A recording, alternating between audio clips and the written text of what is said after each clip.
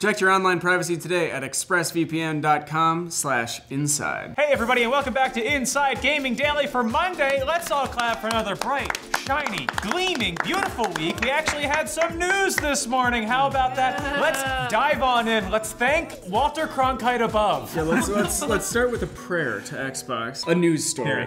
Okay. God damn it.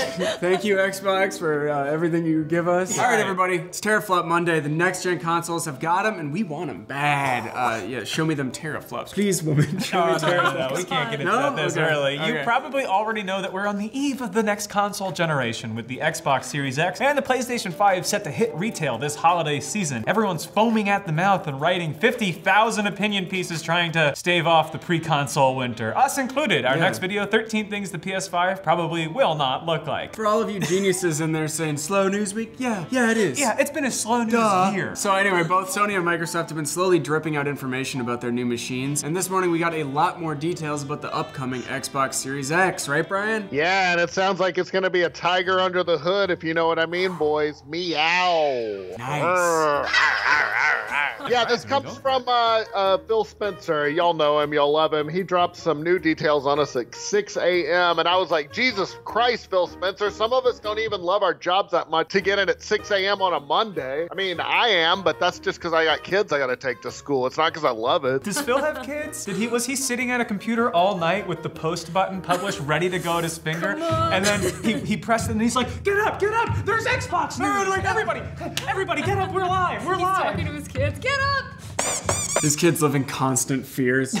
Chaotic household where I wake them up in the middle of the night. Yeah, let us get our coffee first, dude. I have to get the whole enema set up and everything. What?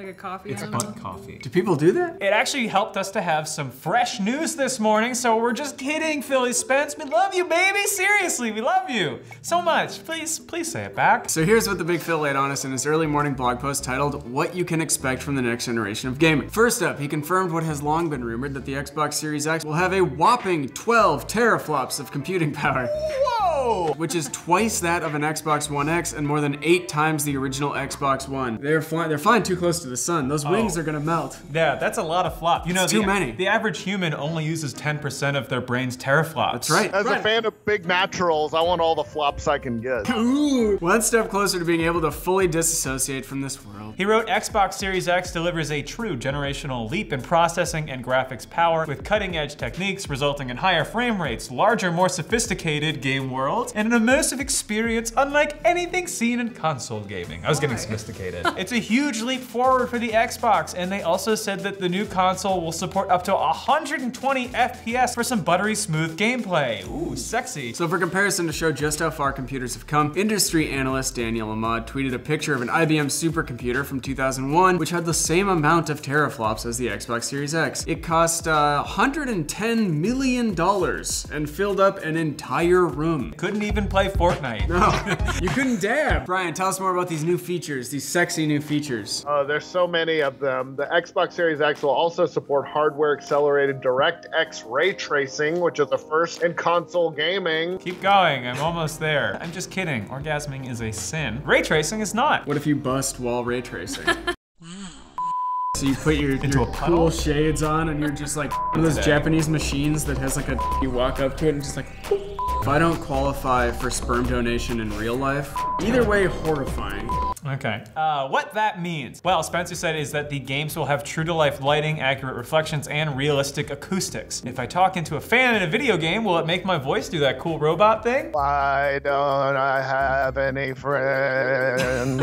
It will also utilize what's called variable rate shading, which Spencer said will let developers more efficiently use the power of the console. The power of the console in the palm of my hand. He wrote, rather than spending GPU cycles uniformly to every single pixel on the screen, they can prioritize individual effects on specific game characters or important environmental objects. This technique results in more stable frame rates and higher resolution with no impact on the final image quality. Yeah, it sounds like a level of customization that developers didn't have before to spend system power on specific things, so it'll be really cool to see how they make use of it. Yes, and Brian, there's more. Solid state drives. Everybody's been talking about them. That's been a key point uh, that both Sony and Microsoft have been making about their next console. Spencer said the Xbox Series X's next generation SSD will mean that, quote, game worlds are larger, more dynamic, and load in a flash, and fast travel is just that fast.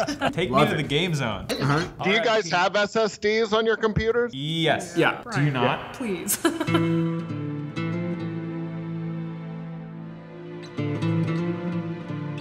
You're about to have SSD's nuts in your mouth.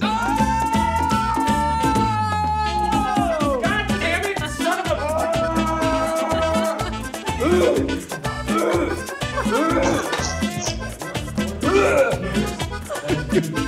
RIP loading screens. We can't say we'll miss you, but it still feels like we should commemorate your passing. I once spent eight minutes on a Skyrim load screen just twirling that ugly frosty spider Ugh. around. Kids these days. Granted, the disc was broken. The Xbox Series X will also have a quick resume feature that will let you continue multiple games from suspended states almost instantly, which is super cool and a real testament to what a processing beast this thing is gonna be. Yeah, the ability to have multiple games running and to cycle through them is definitely a first. As Spencer put it, the next console generation will be defined by more playing and less waiting. Thank God, because I'm incredibly busy refreshing my Twitter feed. I popped off a weirdly specific joke for four people, and it's not doing very well. He also talked about something called dynamic latency input, which Spencer said will synchronize your inputs immediately with what's displayed to make the latency as little as possible. Tiny little lat- Right now my latency is this big. So you're saying, This is how latent I am. right? And what, Yeah. So you're saying is what you do want is What I'm trying to get this. is yeah, okay. Yeah. Well, this I don't know is what analogy we're going this for. is the dream right here. Brian.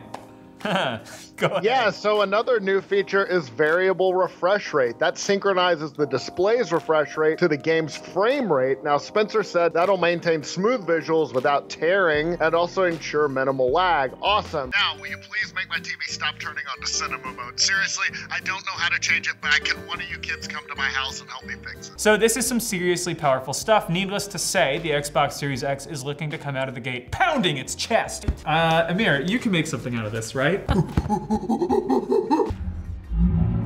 Interestingly, a lot of these specs have been heavily rumored for a while now, and credit where credit is due, the folks at Windows Central correctly predicted a lot of this uh, a few months ago, like the fact that the Xbox Series X would have 12 teraflops. So one particularly interesting thing to note about the leaks is this rabbit hole that was reported on at the end of December. Basically, there was a GitHub leak of supposed internal testing data straight from AMD regarding both next-gen consoles. Part of the leak posited that the Xbox Series X would have 12 teraflops of RDNA 2, variable rate shading, and DirectX ray tracing, which was all confirmed in the blog post this morning. That leak also had some things to say about the PS5, right, Brian? Yeah, there was a ton of PS5 supposed specs, one of which was that Sony's next gen console would only have, get ready boys, 9.2 teraflops.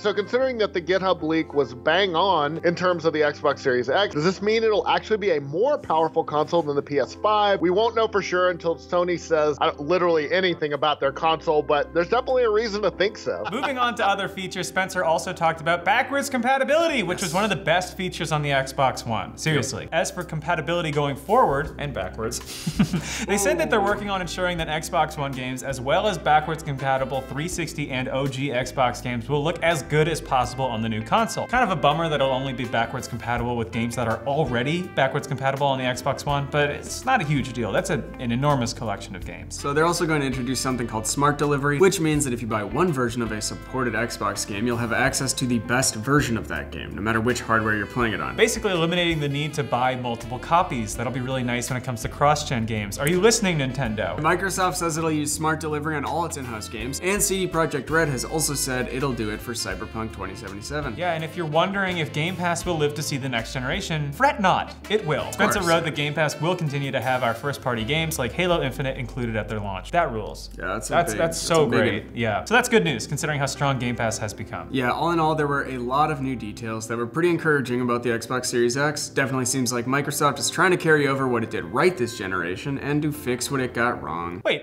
there's not gonna be a bundled Kinect this time? I'm Han Solo. I'm Han Solo. Please oh never do boy. that again. Cool. Yeah, thank you. But are we ever going to get a big reveal event for the Xbox Series X, Brian?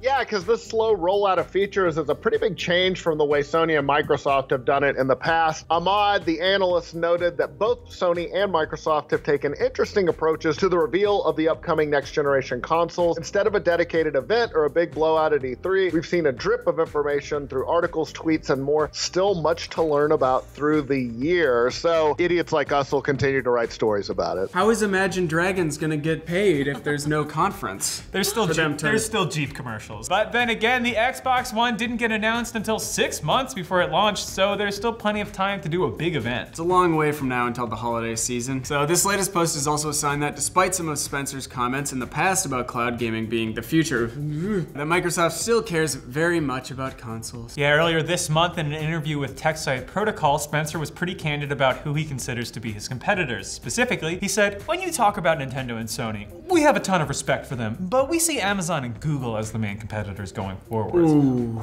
Yeah, that's all because of cloud gaming, and Phil was pointing out that neither Sony nor Nintendo owns high-end cloud infrastructure like Microsoft's Azure platform. And he's right. While Microsoft is about to roll out their new console hardware, they've also been pouring tons of resources into their Project xCloud streaming service, which is currently in beta. But while the future might be on the horizon, I certainly hope so, uh, this shows that there's still a lot of room for old school hardware. Google Stadia has not exactly set the world on fire. Oh, Danny boy. Pour one out for Google Stadia. It seems like we're in one of those transitional periods where some gamers might jump to the cloud, while others keep their hardware for a little while longer. So that's all we know at this point about the Xbox Series X. When will Sony show off more of the PlayStation 5? If they're trying to keep up with Microsoft, maybe it'll be sooner rather than later. The past and the future seen at once through the eye of a needle. I will show you all consoles in a grain of sand. That's always been the issue with consoles, but it's especially tough late in this generation. So maybe Cyberpunk will be a next gen game. Yeah, maybe it's uh, cross gen and it'll have graphical downgrades for the PS4 and Xbox One. I mean, That's wouldn't be I'm the first thinking. time that's happened. Yeah, I have a strange tickling in my balls that Cyberpunk is going to be a PS5 and Xbox